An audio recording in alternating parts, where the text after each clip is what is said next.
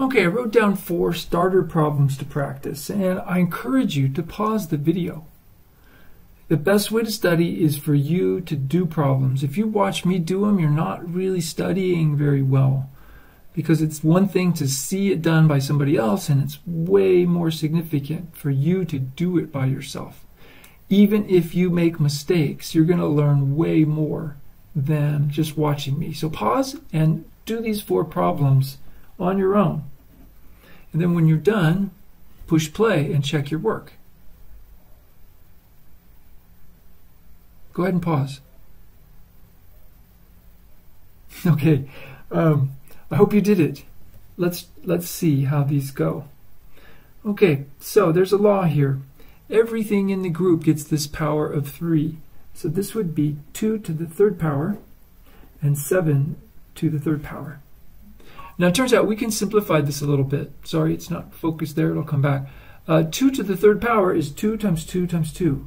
2, 4, 8. Uh, 7 to the third power is 7 times 7 times 7. Now, 7 times 7 is 49. And 49 times another 7 is 243. I'm trying to... Uh, at one time I had remembered memorized the third power of 7. And I'm just going to check it real quick here. I was wrong. My memory didn't serve me well. It was close though. Uh, 7 times 7 is 49. And take 49 times 1 more 7. And the answer comes out to 343. And it's okay if you, if you have to use your calculator for that. Um, 343. Okay, so that's the best we're going to get. We uh, simplified that fraction by getting rid of the parentheses, getting rid of the exponents, and we got a big fraction.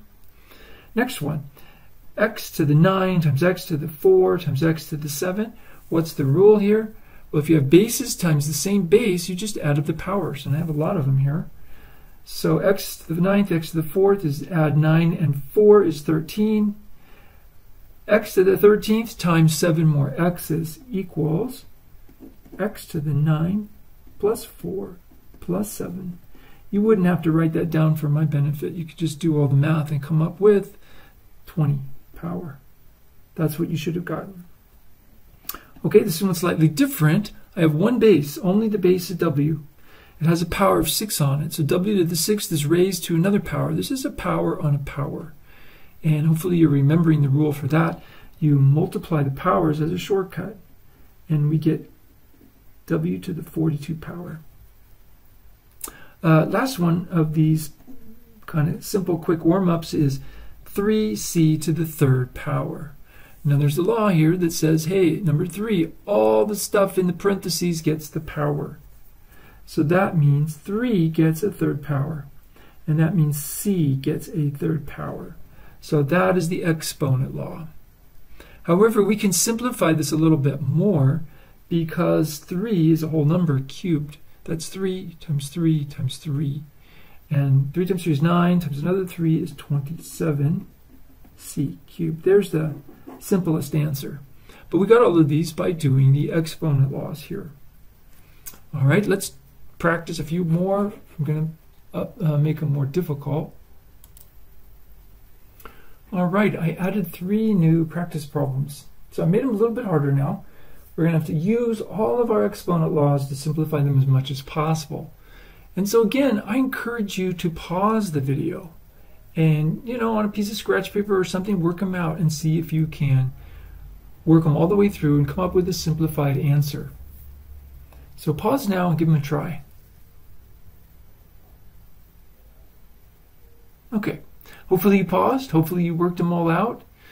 Now, the problem E we have a big group of stuff here.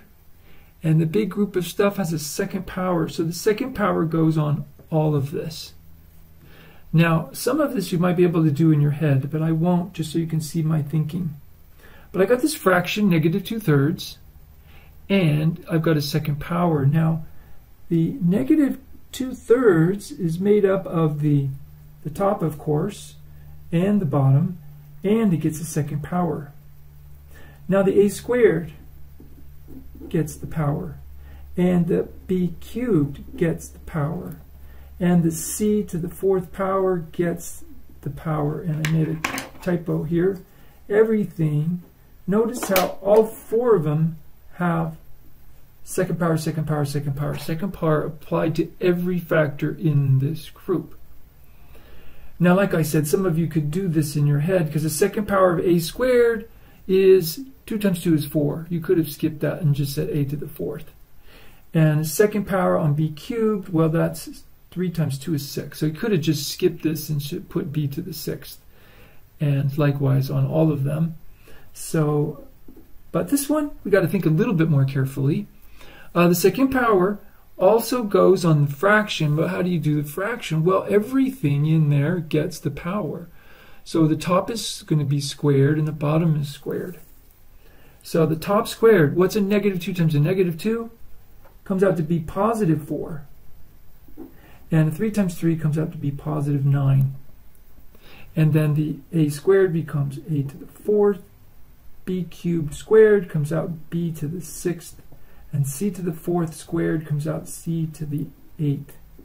There's the simplified answer of that original problem. Now problem F, I want you to pay attention with me. It's tricky and I don't know about you guys, but my past students would often make mistakes with this. This is our first one that has a negative power. And what have we learned? A negative power makes reciprocals. So if we have a negative power, that goes on the bottom and then the power becomes positive. Well, in this problem, the negative problem power makes a reciprocal. So we're going to have a fraction. What goes on the bottom? Now, some of you may have put 4x on the bottom to the fifth power over 1, and that's not right. This is wrong. It's incorrect. But wait, I thought you said the negative power makes a reciprocal, so this goes on the bottom. Well, that is correct, but here is the catch. The negative power only applies to x. This power is only touching the x factor, so the x is the only thing that goes on the bottom. So this would be correct. Notice the x's went down. Well, what about the 4? The 4 is just multiplying this problem. So now it's correct that way. Um, you in your mind's eye, you could think of this negative 5 as only being on the x's. So in your mind's eye, you could think, oh, the parentheses around this. And so I reciprocate the x's like that times by 4. In your mind's eye, you could also think about 4 as a fraction, 4 over 1. And so 4 over 1, you would multiply the top and you would get 4, and the x's go on the bottom, and now they're a positive fifth power. That's the simplified answer. 4 is on top, x to the fifth on the bottom. Now, if you had written the 4 out front, that is also correct. Now, all that compared with this problem, 4x grouped to the minus 5 now this minus 5 is on the whole group. So that's what we would need for them both to go on the bottom. So negative 5 power on the whole group puts the whole group down there. The negative 5 power becomes a positive 5 power, but the fifth power is still on the whole group, which would equal 1 over 4 to the fifth, x to the fifth.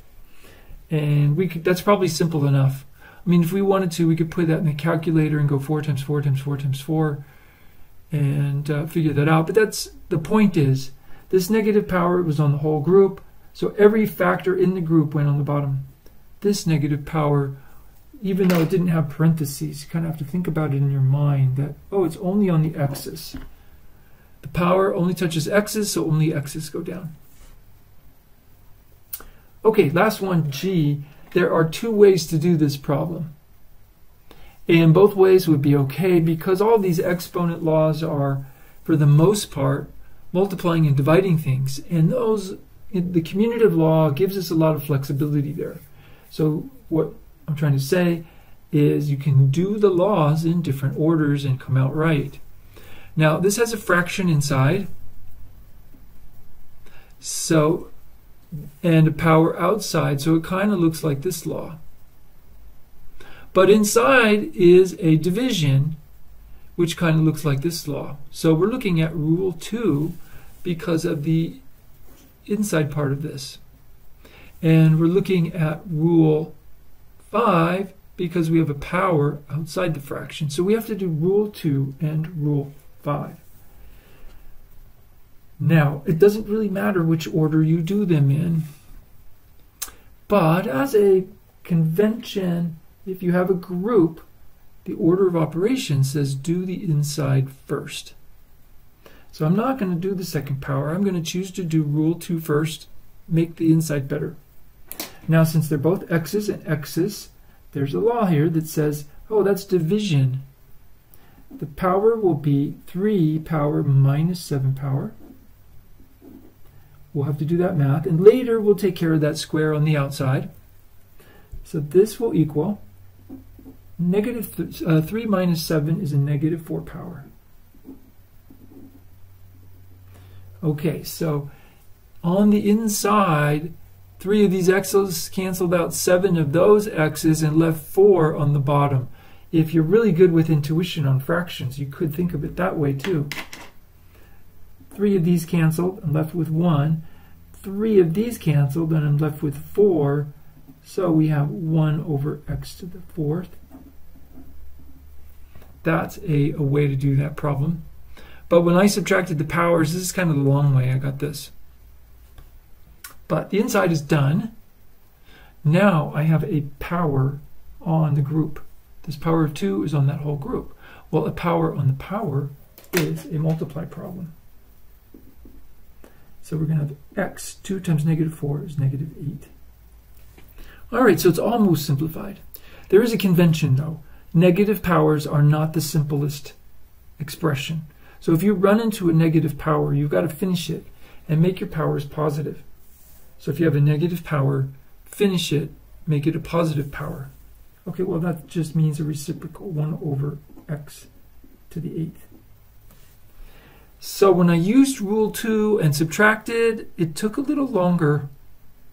If you can cancel fractions and you get 1 fourth over 1 over x to the fourth, then second power of that, it's a little faster because 1 squared is 1. x to the fourth squared is x to the eighth.